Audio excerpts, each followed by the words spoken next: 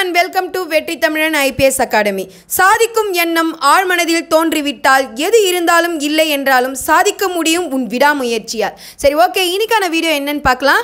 நம்ம வெற்றி Tamil IPS academy மூலிமா பார்த்தீங்கன்னா ஆஃப்லைன் டெஸ்ட் பேட்ச் ஒன்று நம்ம ஸ்டார்ட் பண்ண முடியும் அதாவது எஸ்ஐ எக்ஸாம் டேட் வந்து அதாவது ரிட்டன் எக்ஸாம் டேட் வந்து நெருங்கிக்கிட்டே இருக்குது என்னைக்குன்ட்டு உங்களுக்கு நல்லாவே தெரியும். ஏறக்குறைய பார்த்தீங்கன்னா நம்ம கையில் எத்தனை நாள் இருக்குது அப்படின்னு சொல்லி பார்த்தீங்கன்னா முப்பது நாள் இருக்குது ஸோ இந்த முப்பது நாளை நம்ம எப்படி யூஸ் பண்ணணும் அப்படின்றதுக்காக மட்டும்தான். இப்போ லாஸ்ட் மினிட்ஸ் இந்த தேர்ட்டி டேஸில் தான் படிக்கணும் பண்ணுறவங்க அதுக்கப்புறம் வேலைக்கு போயிட்டுருக்கவங்க அதே மாதிரி இப்போ பார்த்தீங்கன்னா கிளாஸ் ரெகுலர் கிளாஸ் வந்து அட்டன் பண்ண முடியல அப்படி வீடு வீட்டிலே படிக்கிறேன் அப்படின்றவங்களுக்காகலாம் பார்த்தீங்கன்னா ஒரு ஆஃப்லைன் டெஸ்ட் பேட்ச் வந்து நாங்கள் ஸ்டார்ட் பண்ணியிருக்கோம். இந்த டெஸ்ட் பேட்சுடைய ப்ரைஸ் என்ன அப்படின்னு சொல்லிட்டு பார்த்தீங்கன்னா வெறும் ஃபைவ் ஹண்ட்ரட் மட்டும்தான்.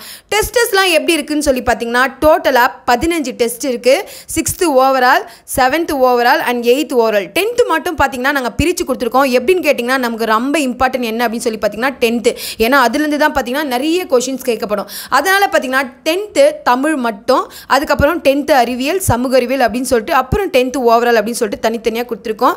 அதே மாதிரி பார்த்திங்கன்னா நமக்கு எலிஜிபிள் எக்ஸாம் இருக்குது ஸோ தமிழ் தகுதி தேர்வு ஆறாவதுலேருந்து பத்தாவது வரைக்கும் கொடுத்துருக்கிற சிலபஸ் பிரகாரம் இப்போ தமிழ் தகுதி தேர்வு மட்டும் பார்த்தீங்கன்னா ரெண்டு எக்ஸாம் இருக்குது தென் ஓவரால் அப்படின்னா எப்படி அப்படின்னு சொல்லி பார்த்தீங்கன்னா sixth to twelfth sixth to twelfth அப்படின்னு சொல்லிட்டு ஓவரால் பார்த்தீங்கன்னா நாலு டெஸ்ட்டு கனெக்ட் பண்ணியிருக்கோம் ஸோ இந்த டெஸ்ட்லாம் படித்தா மட்டுமே போதும். இந்த லாஸ்ட் மினிட்ஸ் இந்த முப்பது நாளை பயன்படுத்தி இந்த ஆஃப்லைன் டெஸ்ட்டை வந்து அட்டன் பண்ணீங்க அப்படின்னாவே சொல்கிறேன் கண்டிப்பாக டெஃபினட்டாக சொல்கிறேன் உங்களால் பாஸ் பண்ண முடியும். வெறும் நானூற்றி நாற்பத்தி நாலு போஸ்டிங் தானே அப்படின்ட்டு நிறைய பேர் நினச்சிட்டு இருப்பீங்க.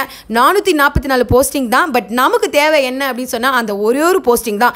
அதில் யார் உறுதியாக இருக்காங்களோ அவங்களால கண்டிப்பாக பார்த்தீங்கன்னா இந்த டெஸ்ட்டை அட்டன் பண்ணிட்டு போனாங்கன்னா டெஃபினட்டாக சொல்கிறேன் கண்டிப்பாக பாஸ் பண்ண முடியும். அந்த ஹோப்போட வாங்க அதாவது விடாமுயற்சி அதேமாதிரி தன்னம்பிக்கை இது மூணு இது ரெண்டு இருந்துச்சுன்னா கண்டிப்பாக உங்களுடைய வெற்றி அப்படின்றது வந்து யாராலையுமே மாற்றவே முடியாது. டெஸ்ட்டுடைய அந்த ஷெடியூல்ஸ்லாம் பார்த்துருப்பீங்க அப்படின்னு நினைக்கிறேன். இந்த டைம் டைமிங் அதாவது இந்த டைமிங் என்ன அப்படின்னு சொல்லிட்டு பார்த்தீங்கன்னா இந்த டெஸ்ட் ஆஃப்லைன் டெஸ்ட் நடக்கிற டைமிங் என்ன அப்படின்னு சொல்லி பார்த்தீங்கன்னா ஆஃப்டர்நூன் டூ டு த்ரீ அதாவது ரெண்டு மணிலேருந்து மூணு மணி வரைக்கும் பார்த்தீங்கன்னா இந்த டெஸ்ட் வந்து நடக்கும்.